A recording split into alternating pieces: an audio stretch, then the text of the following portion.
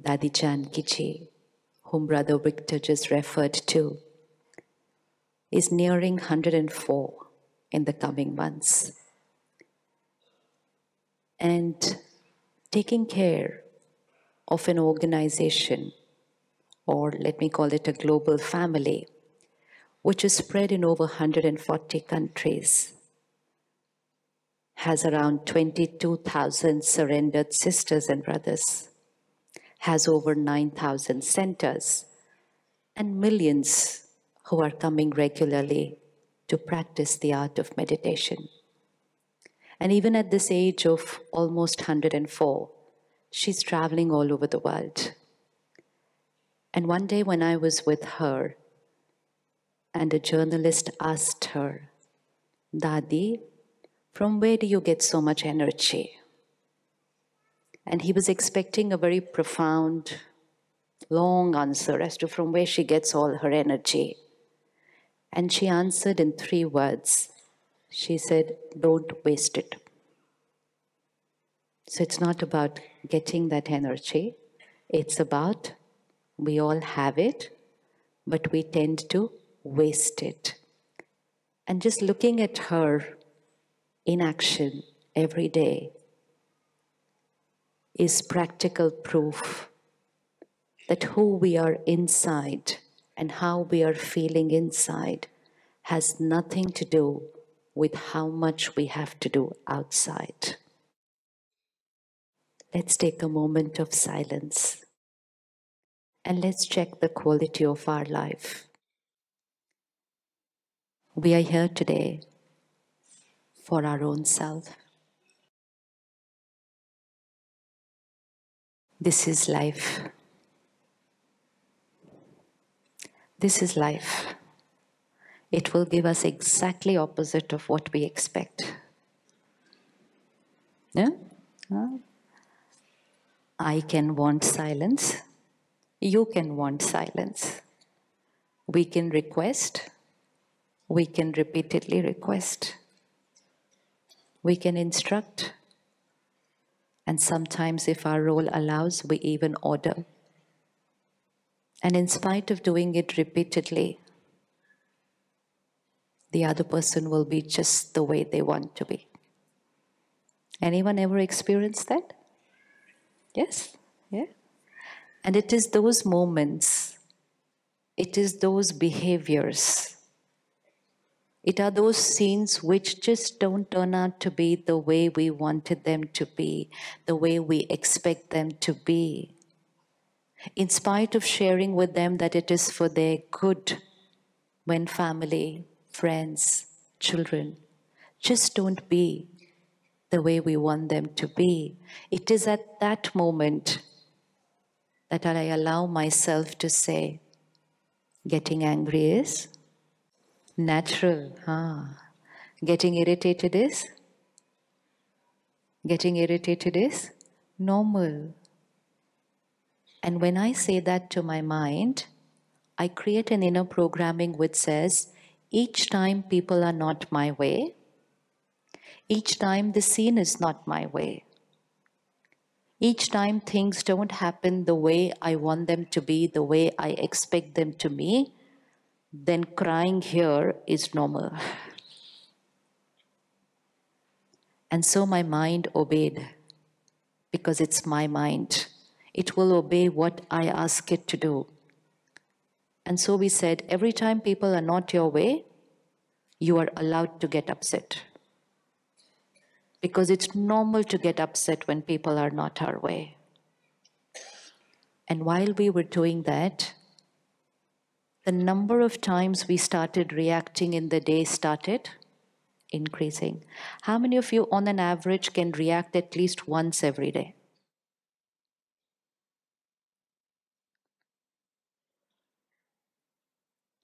How many more than once every day? Oh, this has more hands than the once every day. How sweet. And when we started reacting, we started radiating an energy into the universe of reaction. others who had no situations which were not their way also consumed their energy and started reacting even when things were fine for them outside. And very soon we reached a stage today where we started believing reacting is normal. Getting upset is normal, getting disturbed is normal, worrying is normal, anger is normal. And then we had to come together to discuss of how to be happy. How to be happy.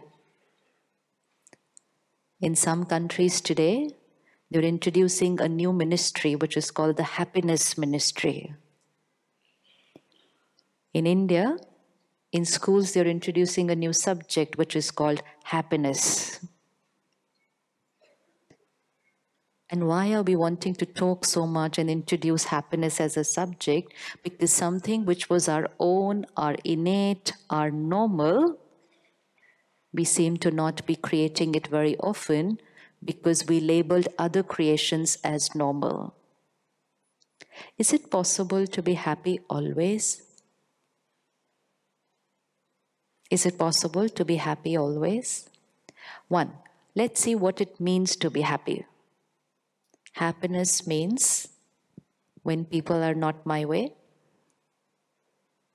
when situations are not my way.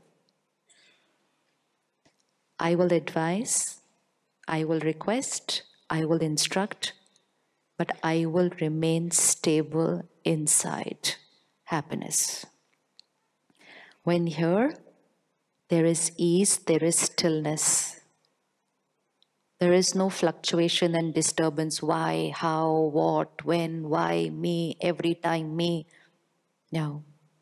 The mind is still, thinking less, thinking right, and responding to the scene. That's happiness. And that happiness, that stability, that ease, we can call it peace, we can call it happiness. The emotion is of ease and stillness, and opposite to that is a disturbance, a turbulence. Can I be at ease and still always, even when people and situations are not my way? Is it possible? Is it possible?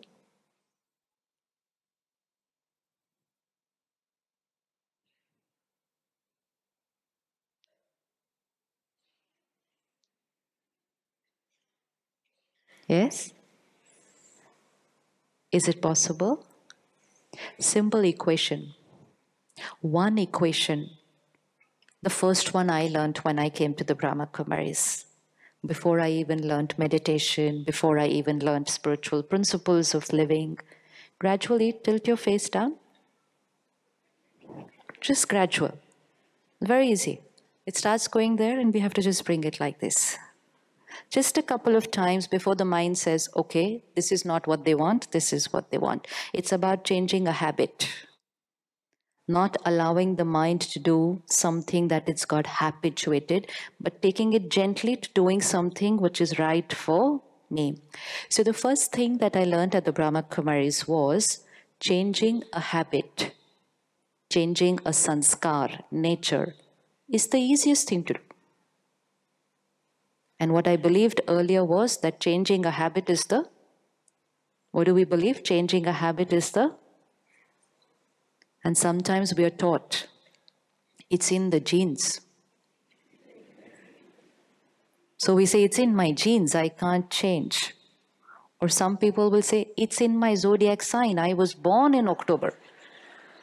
So October means I have to be like this. June means I have to be this. Every time we were saying this, we were giving up the personal responsibility to create a change. And we were saying, this is who I am and this is how I will be. And then came a feeling of being a victim to people and situations saying, I want to be happy only if they change, then it's possible. Living with this person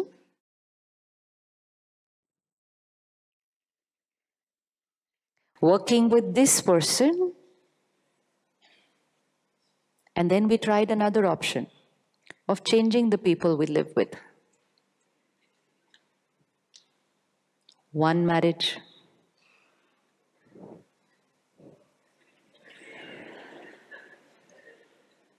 we tried all options. One option, we tried to change them. You know what? Can you be like this instead of like this? So we tried to change them. It didn't work. So we said, okay, now I change you only.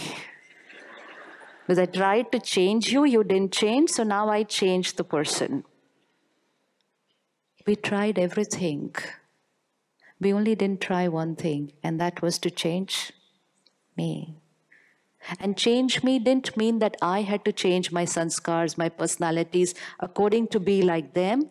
Change me just meant I shift from allowing my mind to be dependent on people and situations for how I feel to creating the power to respond the right way when people and situations are their way. Earlier, we live a life of a victim and say, they behaved like this, obviously I will get angry, obviously I will get hurt, obviously I will upset, obviously I will be worried. And spirituality said, happiness, peace, love is the only obvious feeling because that is who I am. That is who every being is. That is who every soul is. So that was the first beautiful thing I learned at the Brahma Kumaris. No blaming people and situations for what I'm creating. People are here. The children are there. Their parents are there. They're not being my way. What I create here, whose choice? What I create here in response to an outer situation is whose choice? Can I say they are not doing what I'm asking them to do? Obviously, I'll get irritated. Can I say that? Or I have a choice to remain stable?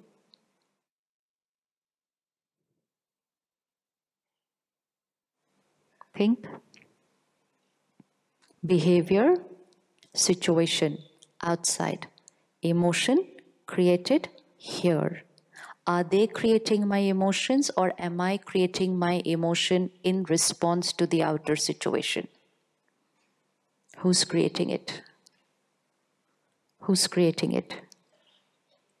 Who is creating it? How many of you feel they create my emotions? No? They irritate me. Ever said that to somebody? You irritate me?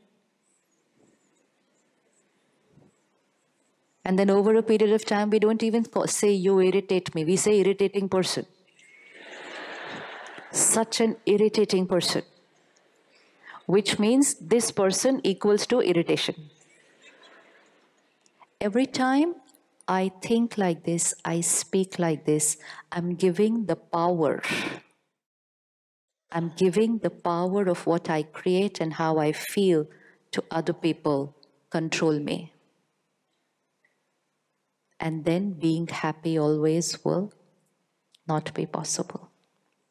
One equation today we're going to change. And this one equation can change destiny. It will change how I feel. It will change how my body responds. It will change how my relationships will be it will change how the world will be.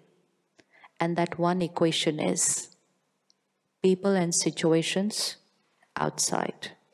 Maybe my way, may not be my way, may be completely another way. But what I create here, in response to what they are doing and how they are behaving, what I create here is checking every situation in life. What I create here is close your eyes for 10 seconds. Bring on the screen of your mind one person Who till this morning had the power to irritate you? See them behave that way, just that way, their way, their normal way. And look at yourself with them.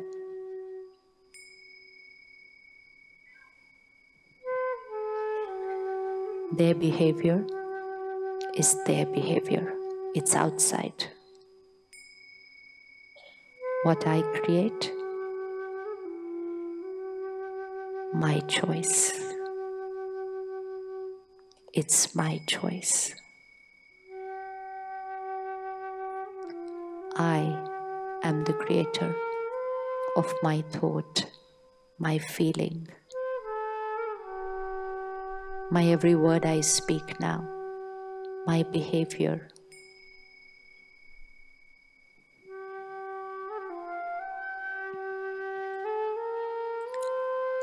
Till this morning, I was choosing to create irritation.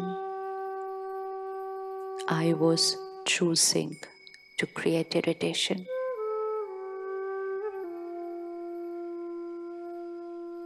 Now I choose to remain stable. I am a powerful being.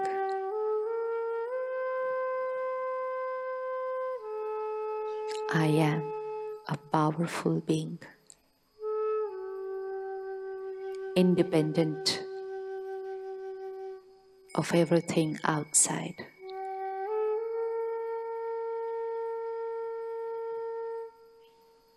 And this moment, I am choosing to be happy. Even when people are not my way, I am a powerful being. Look at yourself with them. They continue to be the way they feel is right for them. I change. I conserve energy.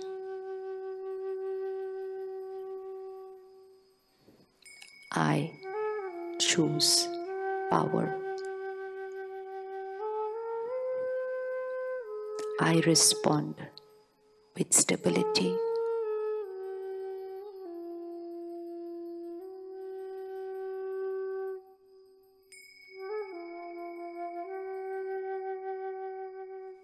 Okay, Ji. Please open your eyes.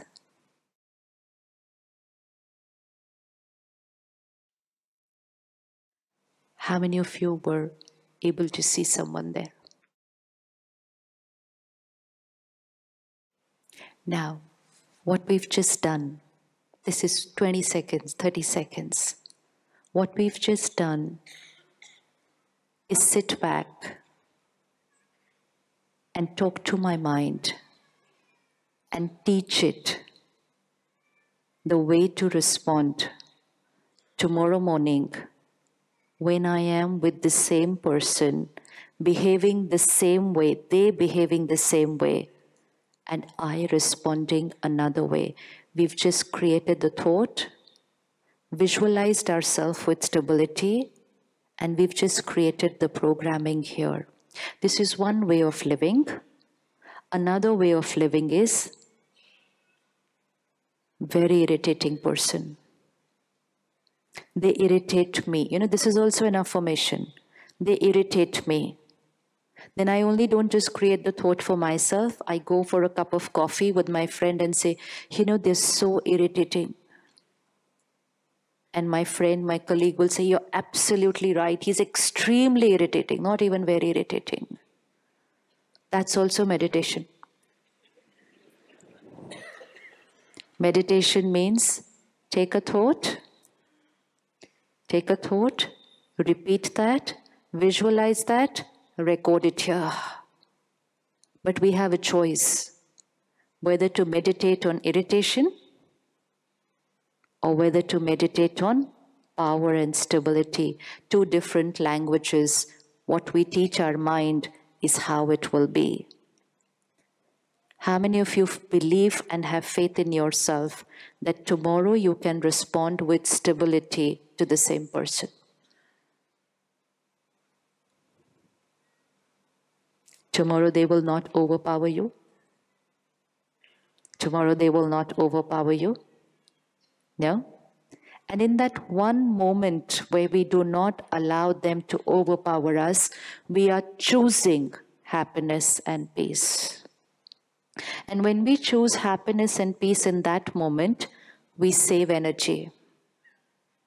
If we create irritation, we deplete energy.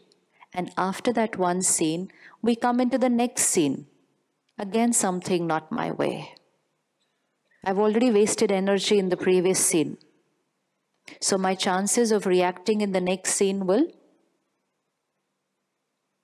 my chances of reacting in the next scene will will be higher. And this person was only irritating. The next person turns out to be and I create a more turbulent energy, and next, and next. And now I reached a stage where I said, stress is normal. Being happy always is not possible. And 20 seconds of being with ourselves, teaching our mind another way of thinking, and you raised your hand to say, Tomorrow I can respond with stability to the same person. And when you do that, it will be a one minute scene. And when you respond with stability, what did we do at that moment?